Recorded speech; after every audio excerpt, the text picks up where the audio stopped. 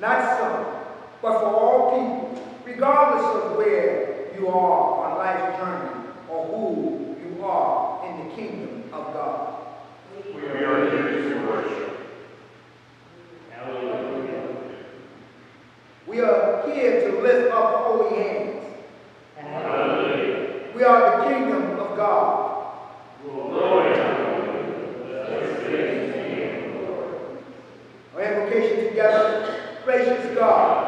Make each of us an instrument of your justice. Continue to weave us into a family, showing forth the power of healing, feeding, clothing, and resurrection as evidence through the life and ministry of your Son, Jesus Christ.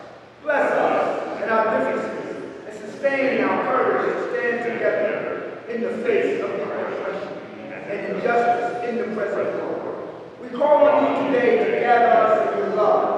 Give us the knowledge and understanding to better know you and glorify your grace on earth in every step of the journey of our lives. In the name of Jesus, who came in the name of love, let us now commit to about with the voice of triumph and proclaim the love and grace of God to all who do. Through Jesus Christ.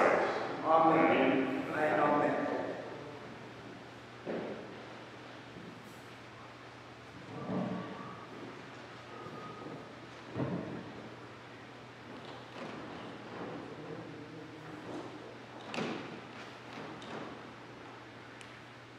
Good morning. Morning. Our first reading this morning is from Genesis 18, verses 1 through 15. And, and the Lord appeared to him by the oaks at Mamre as he sat at the door of his tent in the heat of the day. He lifted up his eyes and looked, and behold, three men stood in front of him. When he saw them, he ran to the tent door to meet them and bowed himself to the earth and said, My Lord, if I have found favor in your sight, do not pass by your servant. Let a little water be brought, and wash your feet, and rest yourselves under the tree, while I touch a morsel of bread, that you may refresh yourselves, and after that you may pass on, since you have come to your servant. So they said, Do as you have said. And Abraham hastened into the tent to Sarah and said, Make ready quickly three measures of fine meal, knead it and make cakes. And Abraham ran to the herd and took a calf, tender and good, and gave it to the servant who hastened to prepare it. Then he took curds and milk and the calf which he had prepared, and set it before them. And he stood by them under the tree while they ate. They said to him, Where is Sarah your wife? And he said, She's in the tent.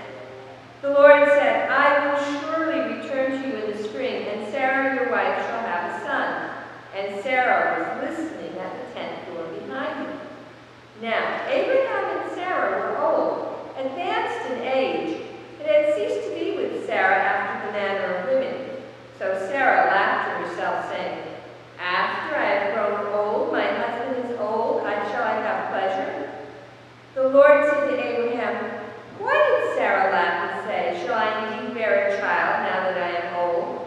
Is anything too hard for the Lord? At the appointed time, I will return to you in the spring, and Sarah shall have a son.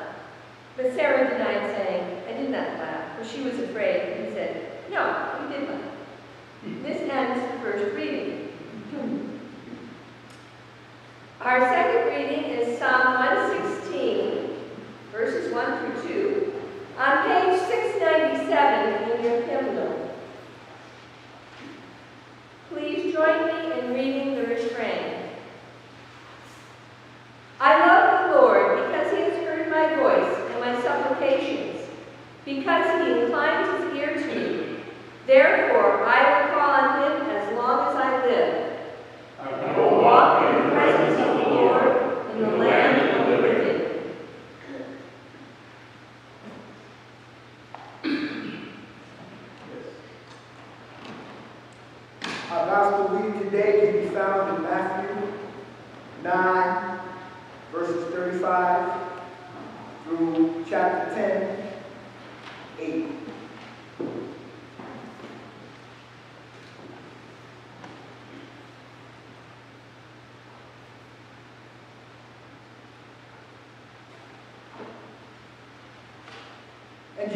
went about all through the cities and villages, teaching in the, synagogues and preaching the gospel of the kingdom, and healing every disease and every infirmity.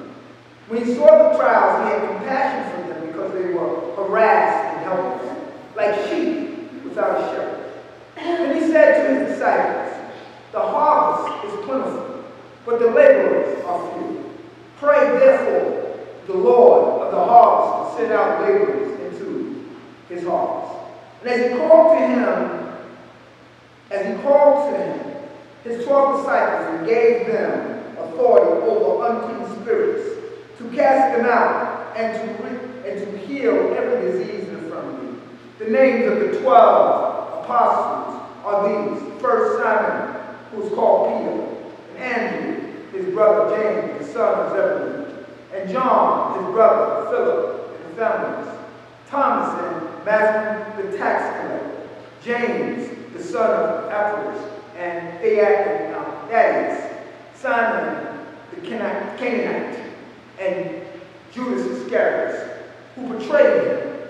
The twelve, Jesus said, go out and charge them. Go nowhere among the Gentiles, and enter no town of the Samaritans, but go rather to the lost sheep of the house of Israel, and preach as you go, saying, The kingdom of God is at hand. Heal the sick, raise the dead, cleanse the lepers, cast out demons, and you will receive, and you will receive without payment. Give someone pay. God's word for God's people. Praise be to God.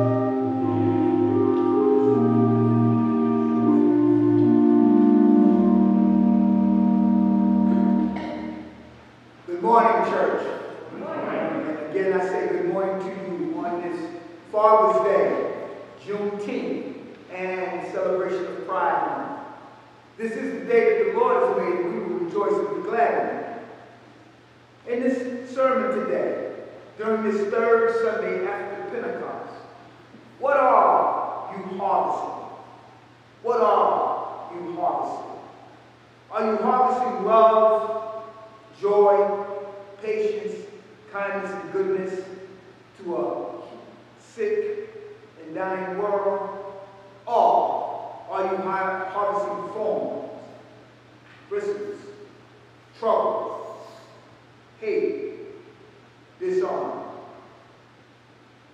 In our text today, we find Jesus proclaiming the good news. And the good news that Jesus is proclaiming is not in reference to him just talking about those sinners, talking about those individuals who struggle, talking about those individuals who perhaps are not just doing the right thing. No, people are seeking Jesus out because people are being oppressed for who they are. People are being oppressed because of community in which they come from. People are being oppressed because they have leprosy. Or people are being oppressed because, like the woman with the issue of blood, she bled for 12 years and no one would come near her. And so our text today, Jesus went through all the towns and villages, teaching in the synagogues, proclaiming the good news of the kingdom and every disease and sickness. And when he saw the crowds that gathered sí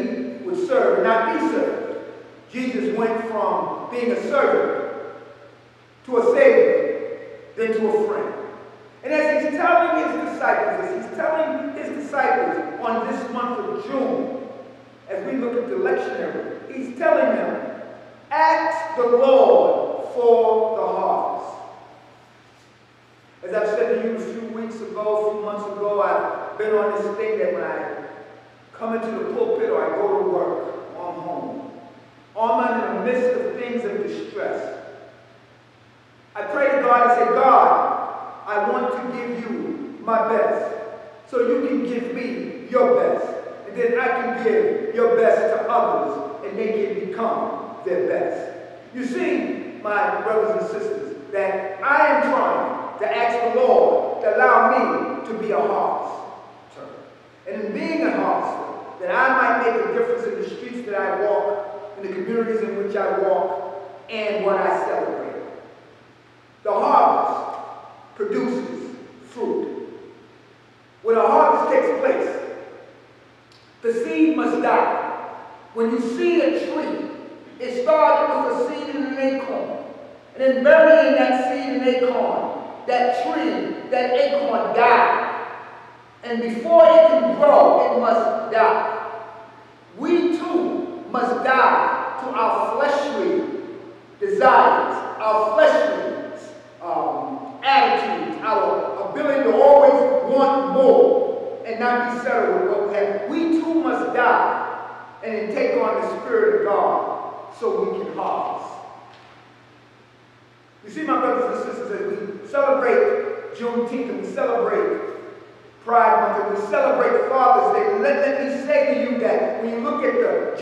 holiday.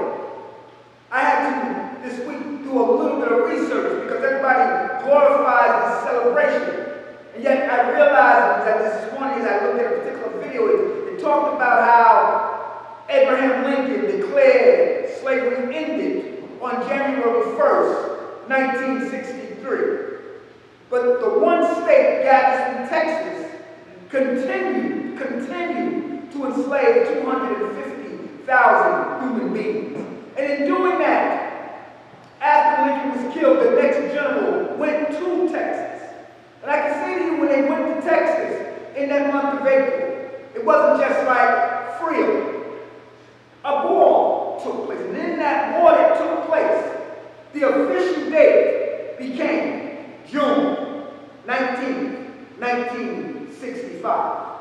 That's why Juneteenth is celebrated. 1865, my bad, sorry. I, I jumped up on. Thank you, Sister 1865. And in that 1865, that was the day that all individuals throughout the United States of America were free.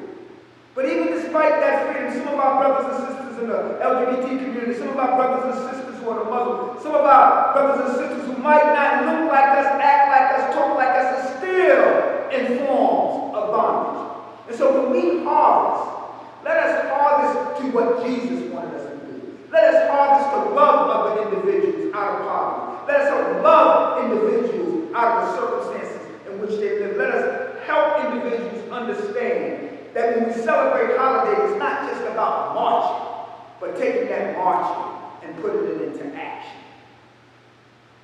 To the fathers today, I know, I know that it's not easy. I'm still working at it. Even with a 32 and 29 year old, it is by far the hardest job I've ever had on earth. Because no matter what you do, your kids, your grandchildren, your godchildren, the individuals that God has put in front of you, they may not do it all right. And so this Sunday, I ask that as you go out into your communities, as you go into your jobs, as you go among your families, I want you to think about the struggle is still on. Ask God as you are living your life every day, what is your purpose? What is your plan? I am convinced that you're not here just to live your life and live it to the fullest, but live your life to the fullest to God. And in living your life to the fullest to God, you then can harvest what's there in front of you. In conclusion, I want you to know that God gives you something every day in front of you to remind you that you have, He has a purpose for your life. Many of us want to live our lives just by living that we're supposed to do something when we graduate from high school, when we graduate from college, or when we get married, or when we go work for someone. But your purpose, your purpose is to let people see the goodness that God has done in your life. That your cup is not three quarters empty, but it's a quarter full. Your cup is not half empty, it's half full. And as long as you wake up there's water in the cup. So use the water to harvest the goodness of God. Amen. Our next song Hymn number 298, God of our fathers, whose almighty name. Hymn number 298.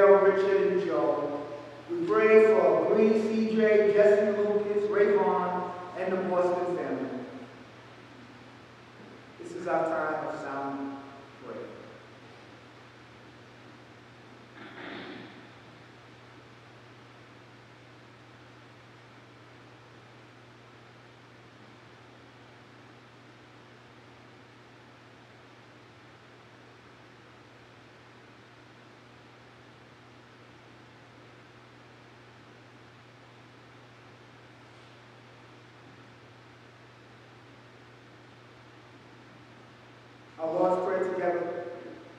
Our Father, who art in heaven, hallowed be thy name. Thy kingdom come, thy will be done on earth as it is in heaven. Give us this day our daily bread, and forgive us our debts as we forgive our debtors. And lead us not into temptation, but deliver us from evil. For thine is the kingdom, power, and glory, forever. Amen.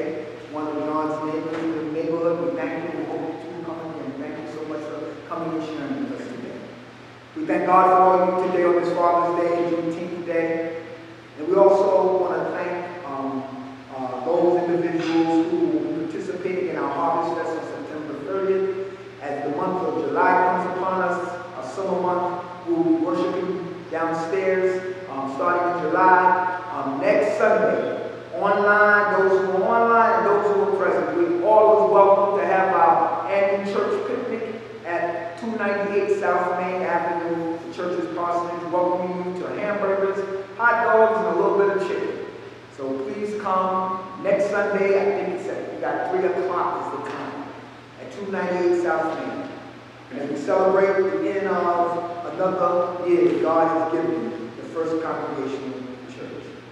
This is our offering time. We have because we give, and we give because we have, and therefore we never without. When we cheerfully give back to God a portion which He's entrusted us to, we can never be so blessed in our community and in our church. Our ushers, please come. In addition, we do have our church council this Tuesday at 5.30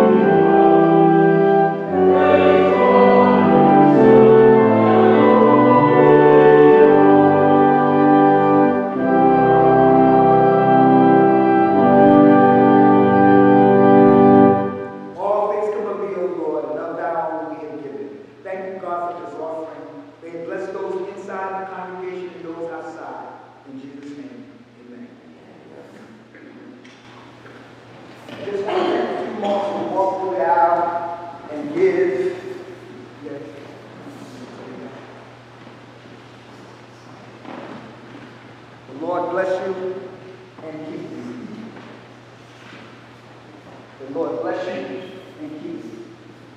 If I run out, I got more in the back. The Lord bless you and keep you. The Lord bless you and keep you. I can do all things through Christ who strengthens me. I got more in the back. So if I run out, I'll get you. I got two more. I got some more in the back. I have more. I got one. I got one.